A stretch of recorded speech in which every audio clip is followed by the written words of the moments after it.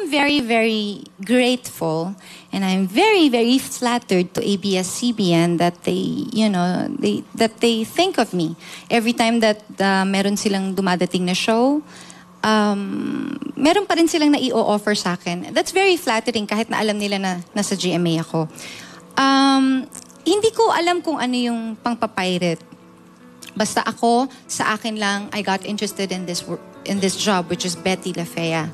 And I really, really, really wanted to do it. Kaya po ako nagpaalam sa GMA at kaya po kami nag-iyakan ng last Sunday kasi it was my last show.